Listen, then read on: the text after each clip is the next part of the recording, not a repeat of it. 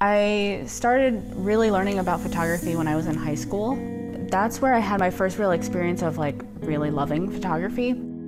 I wasn't having a great day and I had my camera and I was taking pictures and I just felt so good.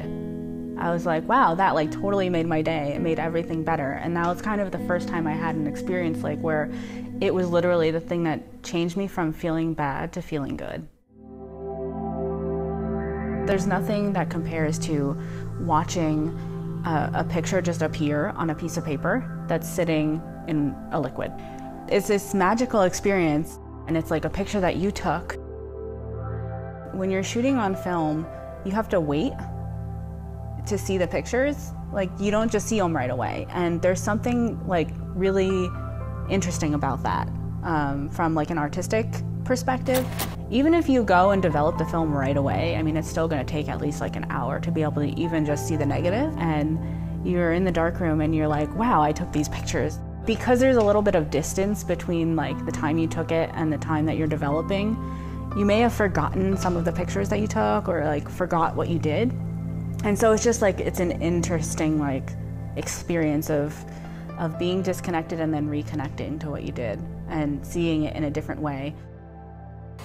I wasn't sure how to go about making a career. I found this program where you get to go and live in France and teach English. So I applied on a whim, and what do you know? I got accepted to the program.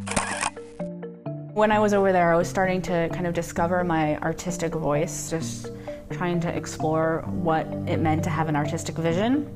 So I would take pictures of like different architectural details or like people in the street when, you know, there was some interesting lighting thing happening, shapes, colors, cultural things that stood out to me. But I was really, I was like interested in um, taking things kind of out of context in a way and making them a little bit more abstract.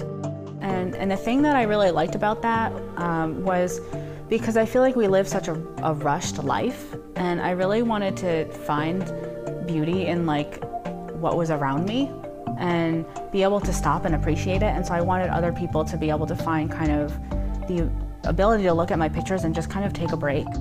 I wanted it to be sort of like a meditative moment in a way, um, where you know it gives you permission to stop and like reflect and just appreciate something simple and beautiful.